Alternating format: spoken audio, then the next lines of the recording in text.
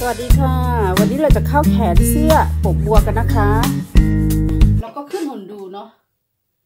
ขึ้นหุ่นดูแบบ ว่ามันอยู่ตรงในส่วนที่กำลังดีหรือเปล่า เนี่ย ให้ให้มันแบบไปข้างหน้านิดนึงอะอันนี้ไหล่มันกว้างเนี่ยก็จะประมาณนี้ ก็คือใช้ได้เนาะเดี๋ยวเอาลงเอาลงแล้วก็ ทำดีๆ เมื่อเรากัดได้อย่างนี้แล้วเนาะเราก็เย็บสิคะ เย็บข้างนี้หรือเย็บข้างนี้ก็ได้เมื่อเราเจียน เมื่อเราเจียนพอดีแล้วเนาะเราจะเย็บข้างที่มันเย็บง่ายเลยมองไม่เห็นแล้วละสิพยายามคลี่ให้ดูก็แล้วกันเนาะ